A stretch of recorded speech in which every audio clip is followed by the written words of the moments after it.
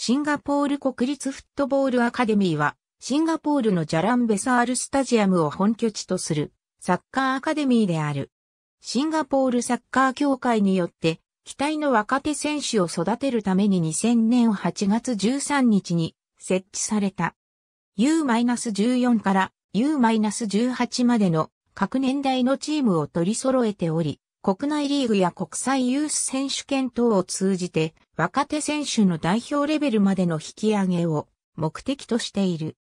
U-18 の選手は卒業後、S リーグの多くのチームへと行くが、その中でもヤングライオンズへ昇格することが多くなっている。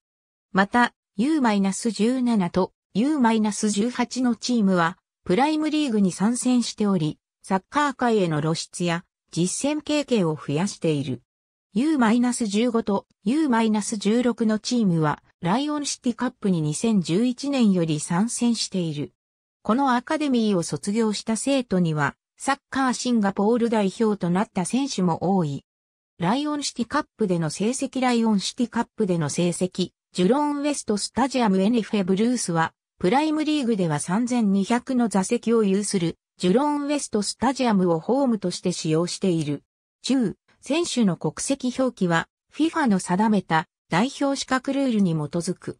NF レッツはプライムリーグでは3000の座席を有する武器、ゴンバクスタジアムをホームとして使用している。中、選手の国籍表記は FIFA の定めた代表資格ルールに基づく。ありがとうございます。